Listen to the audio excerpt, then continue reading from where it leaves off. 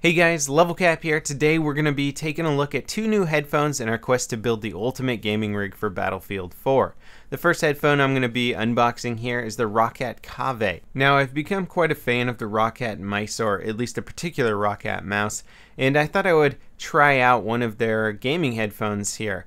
This one is definitely a large pair of headphones, uh, much bigger than most of the competition I've seen out there. It comes with four audio input jacks and a USB plug for the microphone. It, it is technically a surround sound headset in that it has multiple drivers per earpiece part of the downside with that is that it's also quite a heavy headset. Luckily, it is built very durably. I don't think that uh, earpieces are ever going to come off of this, which can be a problem for some of the other large headsets out there. The microphone is removable if you don't need it for gaming. The height adjustments on the earpiece actually have numbers, which is convenient if you want to be precise about the distance on either side. You can fold them up for traveling, which I found to be uh, moderately convenient. It also comes with an interesting little mixer box here that flips open and you can adjust your surround sound volume settings, you can adjust your sub settings, you can adjust the general volume, and you can switch it between game and movie mode if you want to have better game effects or if you want uh, something a little bit more deep for say action films or something like that. Now once I put the headphones on and tried them out in Battlefield 4 beta, um, I have to say that adjusting the surround sound settings on there seemed almost like something you shouldn't ever touch because it seems like the headphone is probably best balanced from the start. And once you start tweaking some of the surround sound settings on there, you start to lose your sense of 3D uh, audio perception in game. So I feel like those features are really not necessary. Now there's been a pretty big debate over whether um, multiple drivers per earpiece in a headphone are going to actually improve your three-dimensional perception of sound uh, or if just having one driver per headphone that's just properly tweaked and properly set up is actually a better way to go. Now, there was a little bit of three-dimensional hearing with these headphones, but I've been using stereo headphones for a while, some pretty top-end stereo headphones, and I felt like I had better control over um, 3D positioning than I did with these headphones, even though they have multiple drivers per earpiece. Also, because of the multiple drivers, I mentioned that the headphones are a little bit heavy. These headphones are not just a little bit heavy, they are quite heavy, which is something that if you are a hardcore gamer, which these headphones are marketed towards, you're going to be wanting to game for hours, multiple hours on end.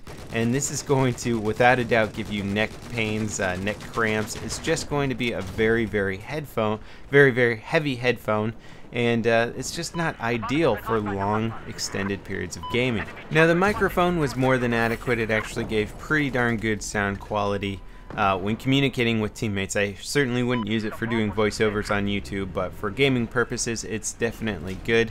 Uh, and although I did kind of rag on the 3D positioning audio quality, it wasn't bad. I was definitely able to try and anticipate where my teammate, where my teammates were, where my enemies were, where gunshot sounds were coming from. So it was certainly a useful headphone, but I've had better. Now, I think it's also worth mentioning that uh, the Kave XTD is coming out also, and that's going to have a built-in mixer instead of that little mixer box. Uh, it's going to have like a USB mixer that's going to give you a lot of different input options. Um, if you're into recording or doing YouTube stuff, it will be a nice little upgrade from this headphone. I don't know if the audio quality is going to change, but it will certainly give you input options uh, that are superior to this headphone. Now let's take a look at a brand new headphone that's on the market. This is the Plantronics Rig gaming headset. Now Plantronics has been making some gaming headphones for a while now. A lot of them are really hardcore based headphones and this one is geared a little bit more towards the casual gamer,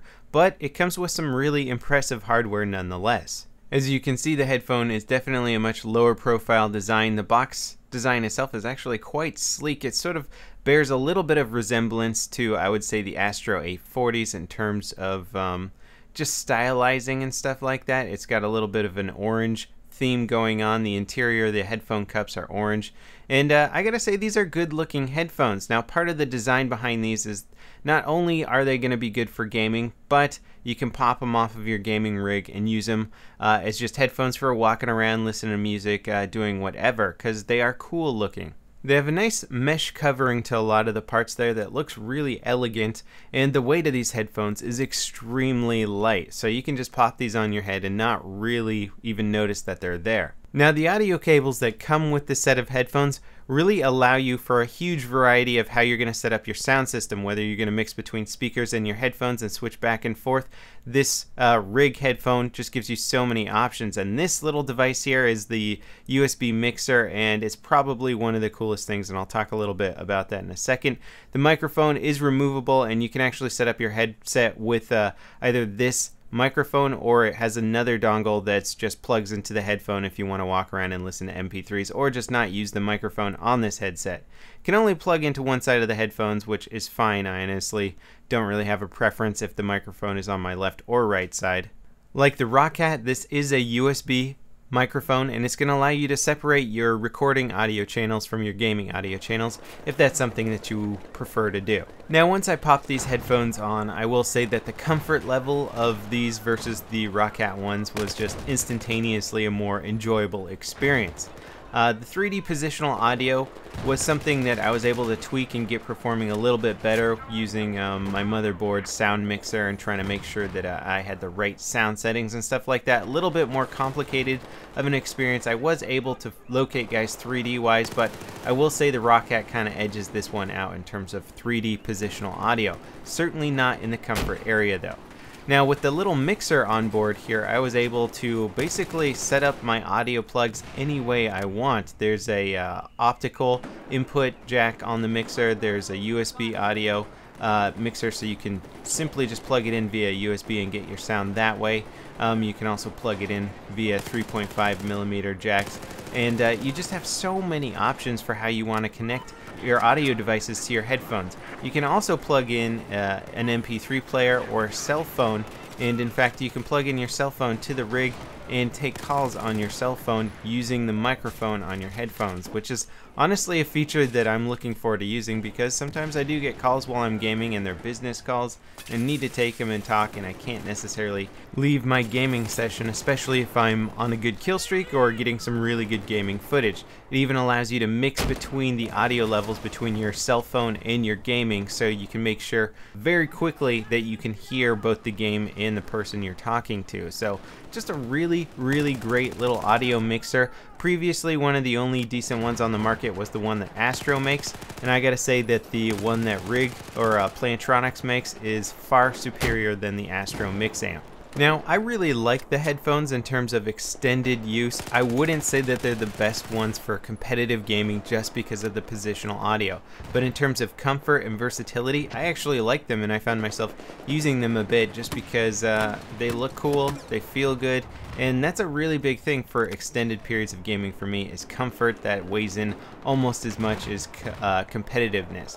Now I am without a doubt going to continue using the little rig mixer on here uh, and you have the option to plug in any headphones you want to the mixer. So if you love the mixer but you're not in love with the headphones you can simply just plug in different headphones to that mixer.